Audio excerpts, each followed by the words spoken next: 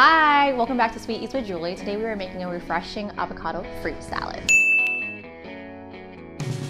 To start off with, what we're gonna need is half an avocado, a variety of fruit, squeeze of a lemon, and we'll drizzle some honey. So my choice of fruit for today is nectarine, strawberries, pineapple, tangerines. So for our first step, cut our avocado into cubes, spoon it out into a bowl, add your mixture of fruit,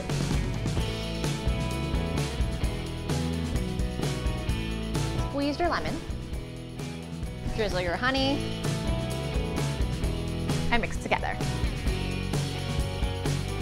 So there you have it guys, your avocado fruit salad. It's great for summer barbecues. Get a little bit of everything.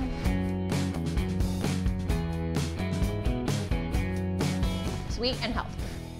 Thank you so much for tuning in. Tag a friend who would like this recipe or comment below for a recipe you would like me to try. Thanks again.